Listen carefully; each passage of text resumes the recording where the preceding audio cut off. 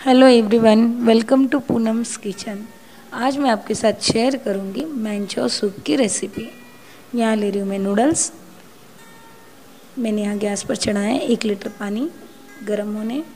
अब हम इसमें डालेंगे वन टेबल स्पून ऑयल जैसे ही पानी गर्म होता है, हम इसमें डालेंगे नूडल्स और इसे बॉईल होने देंगे. हमें इसे ज़्यादा बॉईल नहीं करना है. ये बॉईल हो रहे हैं। मैं आपको दिखाती हूँ, इसे चेक कर कर। बस इस तरह से ये टूटते हैं मतलब ये रेडी है। अब हम इसे पानी से निकाल लेंगे एक स्ट्रेनर में और इसके अंदर हम डालेंगे ठंडा पानी जिससे आपस में चिपकेंगे नहीं। अब हम इसे कोई क्लॉथ या पेपर के ऊपर ड्राई कर लेंगे। ये ड्राई हो चुके हैं। अब इसके ऊपर मैं डाल रही हूँ टू टेबल स्पून कॉर्नफ्लावर और इसे अच्छे से मिक्स करेंगे हम और इसे अब फ्राई कर लेंगे। यहाँ मैं ले रही हूँ एक पैन उसमें मैंने ऑयल गर्म किया है। अब हम इसके अंदर थोड़े से नूडल्स डालकर फ्राई कर लेंगे। हमें इसे गोल्डन ब्राउन होने तक फ्राई करना है।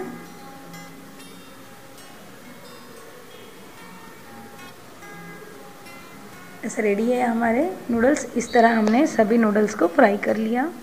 अब हम बनाते हैं सूप जिसके लिए हमें चाहिए चॉप किए carrot half cup one cup पतली कटी कैबेज यह capsicum half cup onion half cup ये टू टेबल स्पून कॉर्नफ्लावर नमक ये half teaspoon soya sauce अदरक की पेस्ट हाफ़ टी स्पून काली मिर्च powder half teaspoon garlic paste half teaspoon हरा धनिया tomato sauce one tablespoon chilli sauce one tablespoon vinegar one tablespoon थोड़ा सा अजीनोमोटो यहाँ ले रही हूँ मैं एक पैन जिसके अंदर हम डालेंगे टू टेबल स्पून ऑयल और जैसे ही पैन गर्म होगा हम इसमें डालेंगे गार्लिक पेस्ट अब हम इसमें डालेंगे जिंजर पेस्ट जैसे ये फ्राई होते हैं हल्के से हम इसमें डालेंगे चॉप की हुई ऑनियन। हमें सारे वेजिटेबल्स को बारीक चॉप करना है। अब हम इसमें डालेंगे चॉप की हुई कैरेट।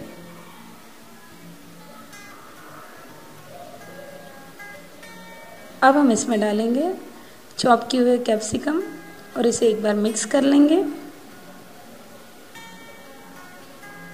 अब मैं डाल रही हूँ कैबेज। हमने इसे भी पतला पतला चॉप कर लिया है। जैसे हमारी सब्ज़ियाँ थोड़ी सी सोते होती है, हम इसमें डालेंगे नमक। मैं यहाँ ले रही हूँ वन टेबल स्पून नमक। आप टेस्ट के अकॉर्डिंग नमक कम ज़्यादा कर सकते हैं। यही काली मिर्च पाउडर।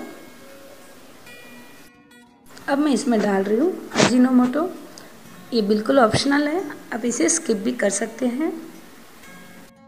अब हम इसमें डालेंगे टोमेटो सॉस जो कि बिल्कुल ऑप्शनल है। आप अगर खट्टा मीठा टेस्ट ना चाहो तो इसे स्किप भी कर सकते हो। अब हम इसमें डालेंगे रेड चिली सॉस विनेगर और इसे हम एक बार अच्छे से मिक्स कर लेते हैं। अब हमारी सब्ज़ियाँ भी अच्छे से फ्राई हो चुकी हैं। अब हम लास्ट में इसमें डालेंगे विनेगर अब हम इसके अंदर डालेंगे पानी यहाँ मैं डाल रही हूँ वन लीटर पानी, क्योंकि मैं सिक्स मेंबर्स के लिए सूप बना रही हूँ। जब तक ये बॉईल होता है, हम लेंगे एक बाउल में टू टेबल स्पून कॉर्नफ्लावर और उसमें पानी डालकर इसका एक पेस्ट बना लेंगे।